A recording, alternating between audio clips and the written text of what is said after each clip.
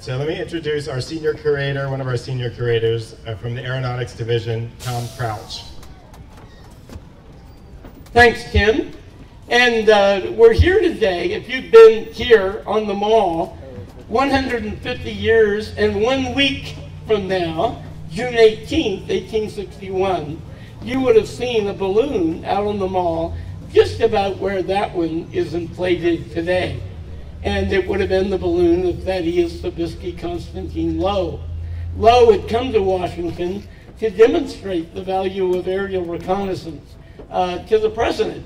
He uh, had made contact with Joseph Henry, and we had Joseph Henry's daughter, Mary Henry, with us today. Miss Henry? Good day to you, sir. I believe you were here that day, were you not? Uh, yes, I was, and most exciting as the men held the balloon tethered to the ground, and it traveled aloft, and eventually they dragged it down towards the White House. He's very excited. It left terra firma.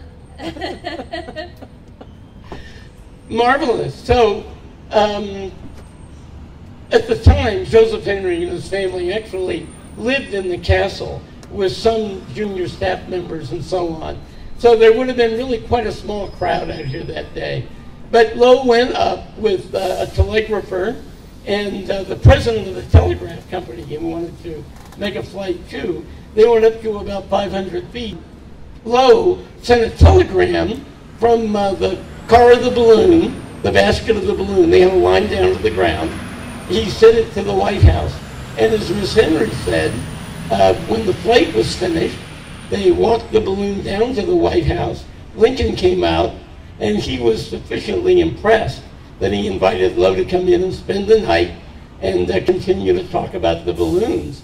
And in fact, it was that event that led directly to the creation of the Balloon Corps, which was the first military aeronautical unit in American history. And it marked the beginning of aerial reconnaissance in American history as well.